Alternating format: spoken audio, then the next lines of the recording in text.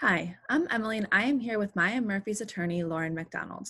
Attorney MacDonald practices at Maya Murphy's office in Westport, Connecticut, and is admitted to practice law in both Connecticut and New York. My question today for Attorney MacDonald is What is my child's individualized education program team, also known as an IEP, or planning and placement team, also known as a PPT? Under Connecticut and New York law, the team of individuals working to develop your child's IEP is a critical component in determining your child's special education needs and the services to be provided. The IDEA and the New York law refers to this resource as the Individualized Education Program Team, or IEP team, while Connecticut law calls it the Planning and Placement Team, or PPT. Whether you live in Connecticut or New York, your child's PPT or IEP team will be involved in most every request or decision made pertaining to your child, including determining whether your child should be evaluated, deciding which evaluations will be given to your child, and whether your child is eligible for special education and related services.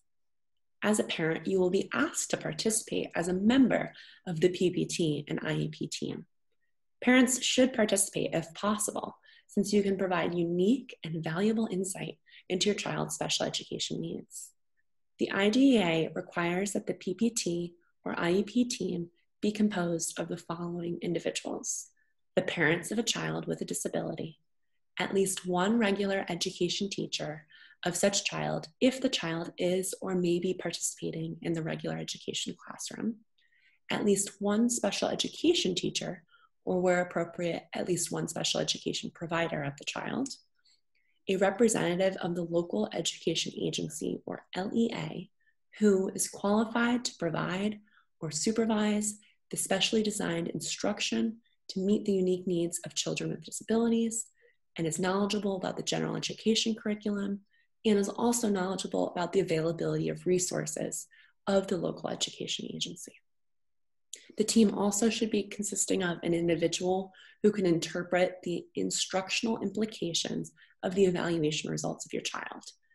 They already may be a member of, of the existing team.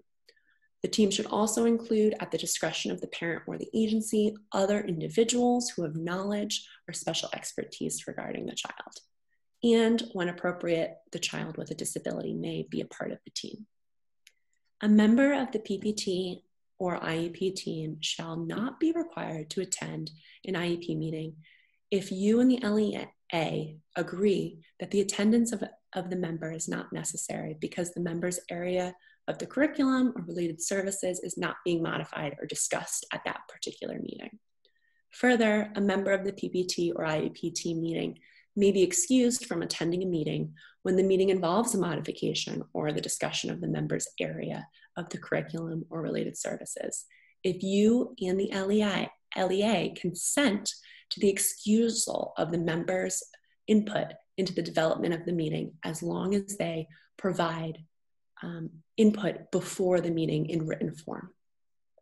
As a parent, you have the right to understand the proceedings of the PPT or IEPT meeting, and if necessary, school district must arrange for a language interpreter or a sign language interpreter. Also, as, as a parent, you have rights in regards to the PPT or IEPT meeting in that you should be given the rights to a conference telephone call if you're unable to attend the meeting.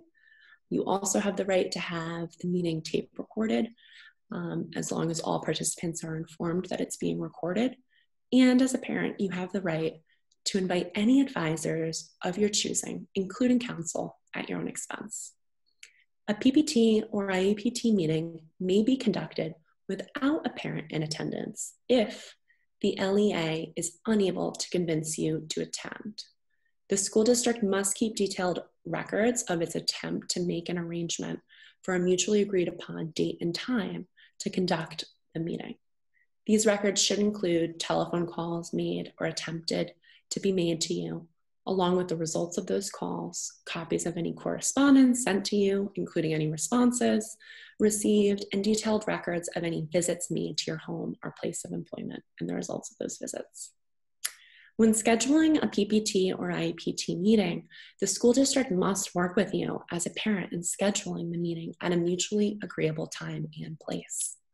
Both Connecticut and New York law require the school district to notify a child's parent at least five school days prior to the meeting in order to allow for attendance.